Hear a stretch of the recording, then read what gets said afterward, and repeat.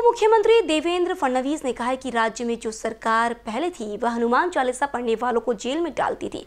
अब हमारी सरकार जो हनुमान चालीसा पढ़ने वालों का सम्मान करती है। हमारी सरकार आने के बाद खुला खुला महसूस हो रहा है। दही हांडी के बाद गणेश उत्सव और दीपावली आदि उत्सव मनाए जाएँगे। वह नवाती परिसर में युवा स्वाभिमान पार्टी के दही हांडी कार्यक्रम में रविवार को बोल रहे थे। इस अवसर पर उप मुख्यमंत्री देवेंद्र फडणवीस, अभिनेता गोविंदा, भाजपा के प्रदेश अध्यक्ष चंद्रशेखर बावनकुले, सांसद नवनीत राणा, विधायक रवि राणा, सांसद अनिल बोंडे, रामदास तड़स, विधायक प्रताप अड़सड़, लप्पी सेठ जाजोदिया, भाजपा शहर अध्यक्ष किरण पातुरकर, ग्रामीण जिला अध्यक्ष निवेदिता चौधरी आदि प्रमुख रूप से उपस्थित थे। कैमरा पर्सन राजकुमार मोहर के साथ अभिषेक पानसी बीसीएन न्यूज़ अमरावती।